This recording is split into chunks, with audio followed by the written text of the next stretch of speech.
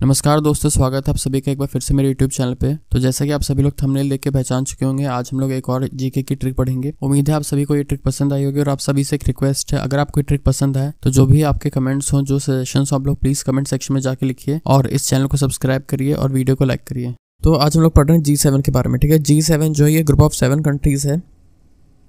तो पहले तो इसकी कंट्रीज़ देख लेते हैं कौन कौन सी कंट्रीज़ इसके अंतर्गत आती हैं। तो एक कंट्री है, क्या नाम है? Germany, Japan, Canada, Italy Britain, France, American union, sorry, America और यूरोपियन यूनियन। उससे पहले इसमें रशिया भी आया करता था। तो इसकी हिस्ट्री कुछ ऐसे है कि इस 1975 में इसमें जी सिक्स कंट्रीज़ हुआ करते थे, यानी कि टोटल सिक्स कंट्रीज़ थे। फिर 1976 में इसमें जी सेवन, यानी कि सात कंट्री इंक्लूड हो गए थे।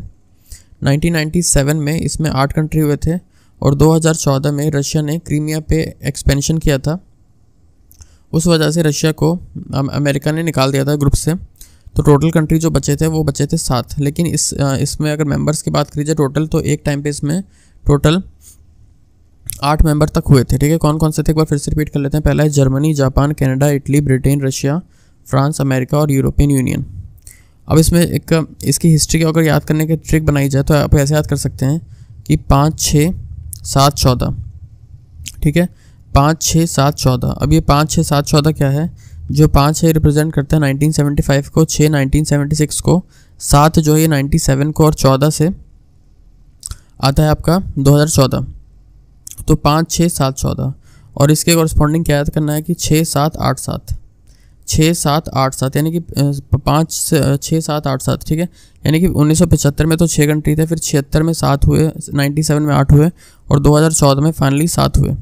तो क्या ट्रिक है? ट्रिक है कि पाँच छः सात, चौदह और उसके कॉरस्पॉन्डिंग है सिक्स सेवन एट सेवन ये six seven eight seven countries हैं, ठीक है? अब देख लेते हैं इसकी फ़िलहाल जो 2020 में होने वाली इसकी समिट ये कहाँ पे होने वाली है? तो 2020 में इसकी 46 समिट होगी, ये होने वाली है यूनाइटेड स्टेट्स ऑफ़ अमेरिका में। 47 समिट जो होगी, ये 2021 में होगी, ये होने वाली है यूनाइटेड किंगडम में। और फोर्टी फिफ्थ समिट इसकी हुई थी 2019 में जो हुई थी फ्रांस में, जिसमें इंडिया को भी बुलाया गया था इनवाइट किया था फ्रांस के प्रेसिडेंट ने। ठीक है?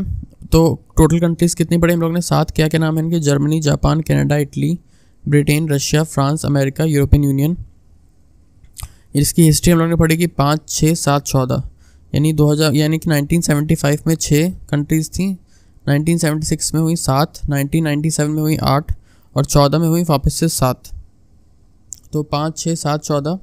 और कंट्रीज़ इसके करस्पॉन्डिंग है छः सात, आठ, सात। तो पाँच छः सात, चौदह और छः सात, आठ, सात, ठीक है?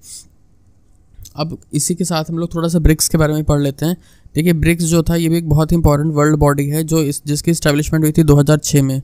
लेकिन इसकी फ़र्स्ट मीटिंग जो हुई थी फ़र्स्ट समिट जो हुई थी हुई थी 2009 में, ठीक है? और कहाँ हुई थी? ये हुई थी रशिया में। उसके अलावा ब्रिक्स बैंक जो है 2014 में बना था 15 जुलाई 2014 में। और इसके हेडक्वार्टर हैं शंघाई में। इसके फ़र्स्ट प्रेसिडेंट थे के वी कामत, ब्रिक्स बैंक के। इसको न्यू डेवलपमेंट बैंक भी कहा जाता है। टोटल जो है अब तक ग्यारह समिट हो चुकी हैं ब्रिक्स की। ग्यारहवीं समिट 2019 में हुई थी और बारहवीं समिट होनी है जो कि 2020 रशिया में होगी। उसके अलावा इसमें जो मेंबर कंट्रीज़ हैं वो हैं ब्राज़ील, रशिया, इंडिया, चाइना और साउथ अफ्रीका। इसकी जो टोटल समिट्स हैं, उसकी, उसको याद रखने के लिए छोटी सी ट्रिक है। ट्रिक है कि R B C is BRICS bar R B C होता है रेड ब्लड सेल यानी कि आर बी सी स्पेस फिर है इज़ आई एस इज़ फिर स्पेस फिर BRICS B R I C S BRICS यानी कि ईंट, फिर स्पेस बार यानी कि बी आर तो बार मतलब होता है चॉकलेट तो हम लोग ए को नहीं लिखेंगे, सिर्फ़ बी आर लिखेंगे। यानी आर बी सी जो है, वो ईंट की चॉकलेट है, अगर हिंदी में ट्रांसलेट किया जाए। अब इसका यूज़ क्या ठीक है? तो देखिए आर बी सी से होगा, पहले, ये समिट्स के नाम है, ठीक है? पहली जो समिट थी, वो है रशिया बी से ब्राज़ील सी से चाइना, फिर आता है इज़ स्पेस के बाद। इस से है इंडिया और साउथ अफ्रीका फिर है ब्रिक्स तो Brazil, Russia India China South Africa फिर लास्ट में आता है बार, यानी कि बी आर इससे आता है ब्राज़ील और रशिया। तो जो लास्ट में आर आ रहा है, ये 2020 को रिप्रेजेंट कर रहा है, यानी कि इसकी जो 2020 की समिट होनी है, ये रशिया में होनी है जबकि इसकी जो समिट हुई थी 2019 में, ये हुई थी रशिया में। सॉरी 2019 में हुई थी ब्राज़ील में और 2020 में होनी रशिया में। तो 2019 में जो ब्राज़ील में हुई थी, ये किस शहर में हुई थी? ये हुई थी फोर्ट ज़िला।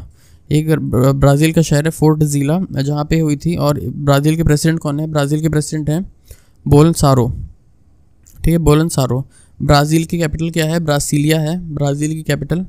ठीक है, उसके अलावा ब्राज़ील जो है, ये ये एक ब्रिक्स का मेंबर है। तो टोटल हम लोगों ने जी सिक्स हम लोगों ने पढ़ा जी सेवन और ब्रिक्स के बारे में।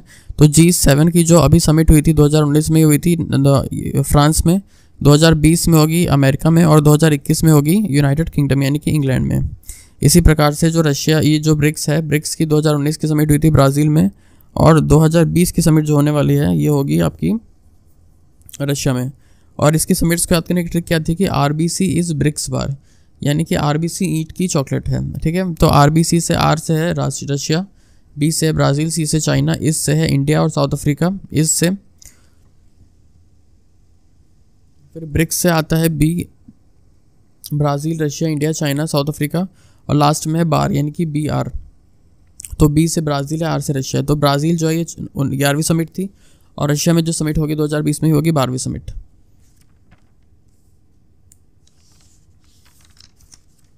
उसके अलावा एक छोटा सा आपको एपेक के बारे में और बता दूँ। देखिए एपेक जो है, इसका फुल फॉर्म है एशिया पैसिफिक इकोनॉमिक कोऑपरेशन ठीक है? ये भी एक इंपॉर्टेंट वर्ल्ड बॉडी है, जिसकी स्थापना 1989 में सिंगापुर में हुई थी। तो इसके हेडक्वार्टर जो है सिंगापुर में है। और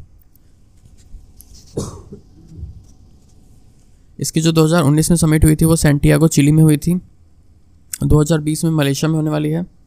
21 में न्यूजीलैंड में और 22 में होगी थाईलैंड में। तो 19 में कहाँ हुई थी? सेंटियागो, चिली में। 2020 में मलेशिया में होगी 2021 में होगी न्यूजीलैंड में और 2022 में थाईलैंड में।